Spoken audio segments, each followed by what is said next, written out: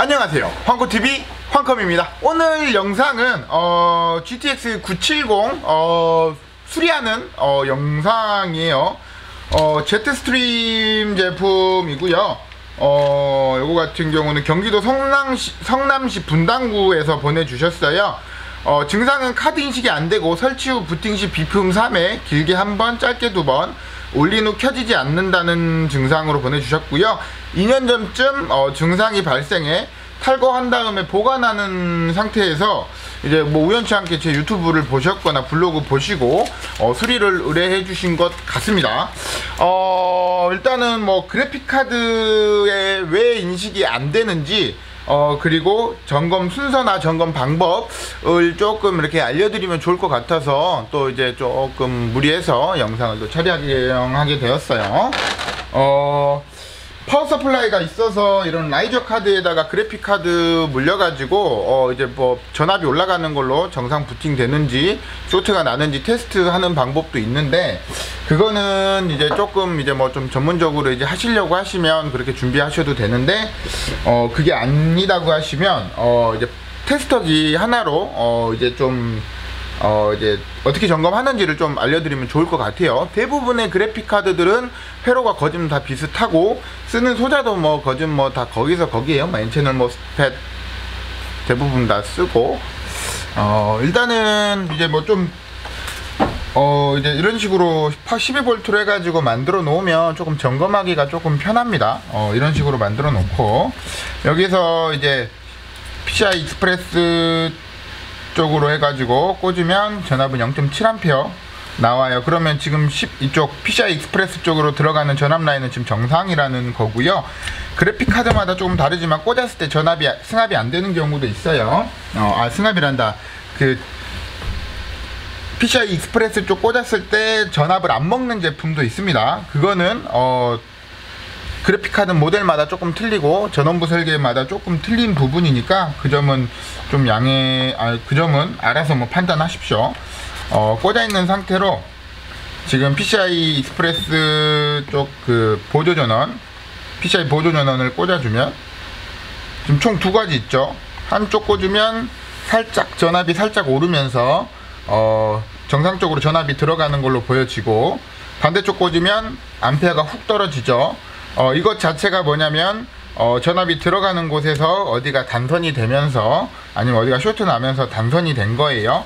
그래서 제가 이거를 조금 점검을 해놨고요. 뭐 점검은 시간은 그렇게 오래 걸리진 않았습니다. 음. 그래서 이런 식으로 돼 있거나 아니면 뭐 조금 전압이 들어가도 암페어 반응이 없다고 하면 어, 쇼트 검사를 먼저 하는 게 좋아요. 퓨즈 쪽이 먼저 끊어져 있을 가능성이 높거든요. 뭐 그라운드 쪽 아무데나 찍고 이쪽 찍어주면 지금 뭐 쇼트는 안 나고 지금 0.005 어, 퓨즈 저항은 살아 있습니다. 그러면 이제 당연히 그라운드는 울리고 아래쪽 같은 경우도 찍어보면 이제 비품은 안 나고 이게 절, 그 저항값 올라가면서 도통은 안 되는 걸 볼 수 있고요. 이쪽 위쪽 부분 같은 경우는 이쪽은 아예 통신 안 되고 아래쪽은 지금 쇼트값 나오죠. 그러니까 지금 Q 저항 이거 이거 씨 들어라 씨.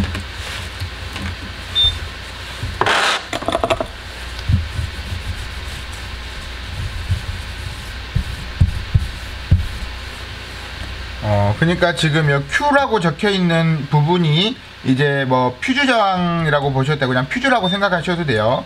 어 그래서 이런 식으로 도통이 되어야 되는데 얘 같은 경우는 지금 단선이 나 있는 상태입니다. 음. 아예 통신이 안 되고 반대로 찍으면 살짝 올라가는데 뭐 도통은 안 되기 때문에 이 저항도 나갔습니다. 어, 일단 환풍기 틀고 어디가 쇼트인지 뭐 이, 어디가 쇼트인지 두 개 중 하나가 쇼트일 거예요. 어, 잡아 찾으려면 이쪽에 MLCC를 한번 들어봐야죠. 어. 어, MLCC가 불량이 났을 가능성도 있기 때문에 MLCC 한 번씩 들어가지고 도통 테스트를 해도 되는데 MLCC는 거좀 불량이 나면 쇼트가 나면 이제 뭐 깨져 있거나 크랙이 가거나 하는 게 바로 눈으로 보이기 때문에 아니면 열을 가했을 때 바로 뭐 깨지는 흔적이 보여요. 어, 그렇게 해서 MLCC는 찾아도 되는데 이쪽은 지금 MLCC는 전혀 문제가 없는 부분이고 제가 봤을 때는 지금 6823C 소자 어, 요 위에 게 제가 봤을 때는 불량인 것 같아요. 그냥 떼면 절대 안 되기 때문에.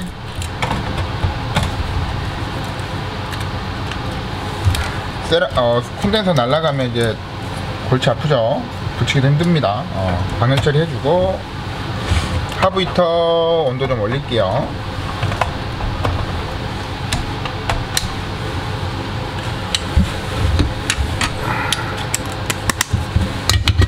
지금 갖고 있는 게 6823A인데 지금 들어가 있는 거는 6823C거든요.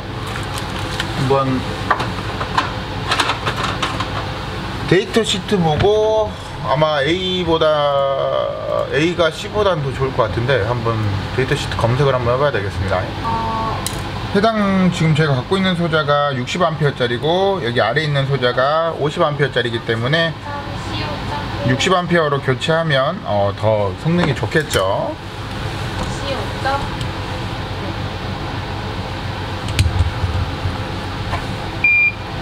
여자분 나온다. 네, 그러면 옆에 그 검색창이 있어요.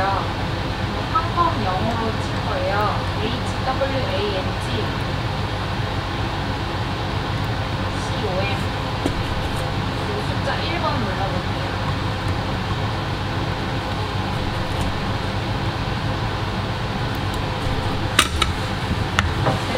충분히 열이 달아올랐으니까 바로 모스펫 떼가지고 체크해 볼게요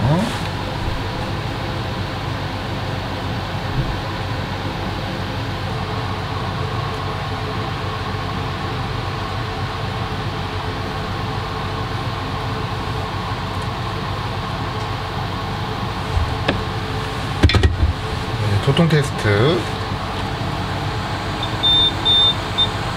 쇼트 잡혔죠? 위에 게 불량이었던 거예요. 그러면 이쪽에 이제 플럭스 발라서 무연납을 유연납으로 조금 묻혀주고 접점 살려주고 바꿔야 될 소자 붙여가지고 그래픽카드 테스트하고 마무리하면 될 것 같습니다.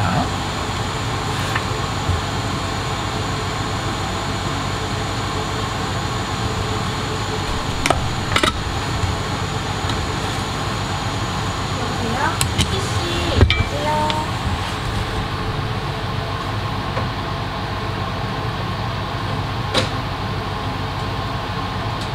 전화를 끊었어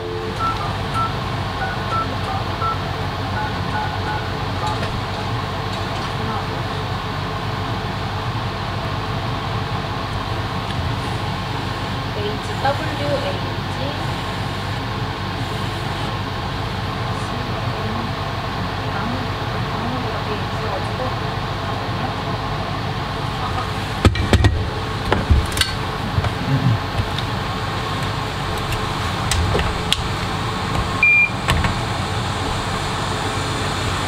안에 접점을 좀 살려줘야 돼서 플럭스 다시 좀 바르고 어, 이쪽에 각 라인 패턴 쪽에 제대로 접점 들어가도록 솔더링 작업 한번 더 해주면 됩니다.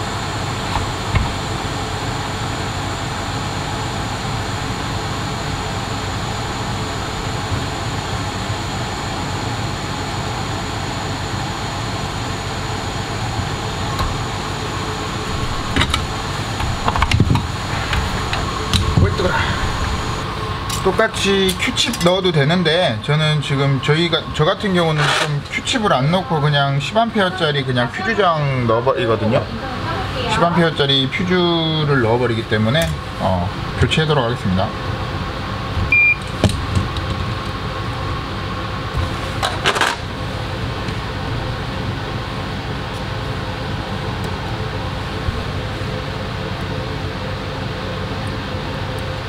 혹시나 문제가 생기면 애가 먼저 끊어져 가지고 어,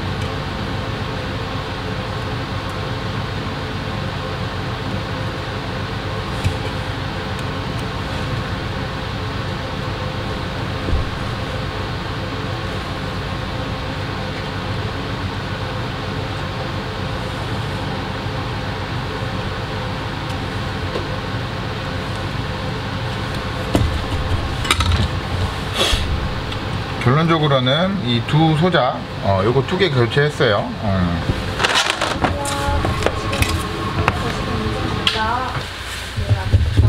감사합니다.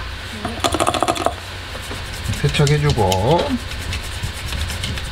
여기다가 플럭스 아 이거 그 compound 바르지 마세요 어, thermal 패드가 있는데 거기다가 패드 위에다가 thermal compound를 또 도포하시는 분들이 조금 많이 계십니다. 누가 알려준지 모르겠는데. 정상적으로 이제 퓨즈 통신되고 당연히 어 쇼트값 당연히 안 나오죠. 어. 조립해 봅시다. 아이고 힘들어라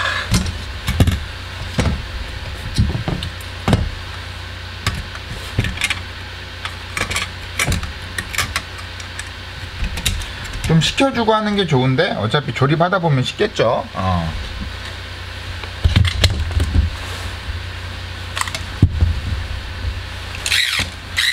그리고 제가 영상을 요즘 좀 잘 못 올리고 있는데 어 뭐 수리하신 수리 배우시는 분들이나 아니면 좀 궁금하신 거 있으시면 블로그는 제가 그래도 좀 열심히 수리기 작업기 이렇게 올리거든요. 의뢰하신 고객님 또 보시라고 어떻게 수리했는지. 그러니까 어, 네이버에 제가 아래쪽에 댓글창에 제 블로그 하나 같이 올려놓을 테니까 블로그 보시, 보셔도 괜찮을 것 같아요. 어떤 부분 어떻게 수리했는지도 블로그에 똑같이 올리고 있거든요. 유튜브 할 여건이 안 돼서 못하고 있는 거고. 네. 엄매, 써머그리스 보세요. 나 여기 철판떼기, 이 GPU 쪽에 철, 철판에다가 썸을 바르시는 분 처음 봤어요. 그리고 지금 thermal 패드 쪽에도 지금 다 써멀이 묻어 있는 상태라서 대부분 이제 사람 이제 대부분 잘 모르시는 분들이 그래픽 카드 고장 나면 thermal compound 먼저 바르시고 보는데 어 불량난 원인을 찾으신 다음에 바르시는 게 좋죠. 그리고 분해하시다가 더 부서질 수도 있고 음, 전문가에게 맡기시는 게 좋지 않을까 싶습니다.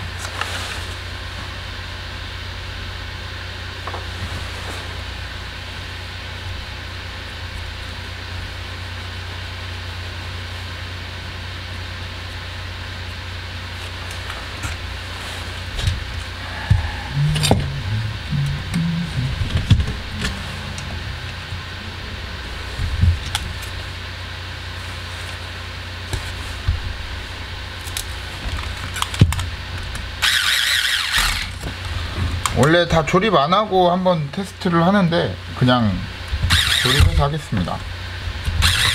그리고 누누이 말씀드리지만 어, 비슷한 증상이어도 원인은 다 틀려요. 어, 뭐 인터넷에 흔하게 막 냉납이다, 냉납이다, 내 것도 냉납이다 아닌 경우 엄청 많으니까 뭐 속단해 가지고 판단하시지 말길 바라겠습니다.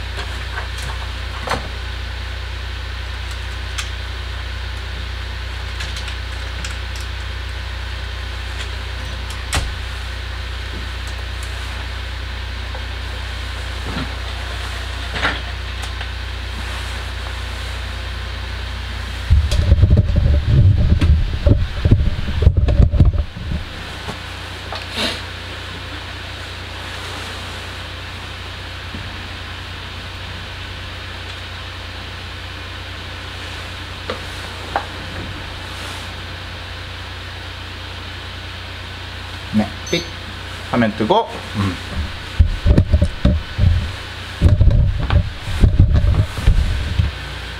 뭐 이제 드라이버 잡고 테스트 좀 거쳐봐야 될 것 같은데 뭐 문제없이 어, 드라이버 잡히고 테스트도 문제없이 통과할 겁니다 음뭐 문제 있으면 또 고치면 되니까 음.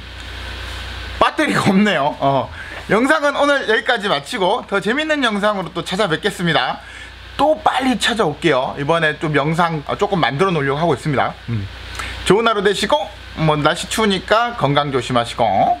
안녕. 아 맞다. 저 4월에 장가 갑니다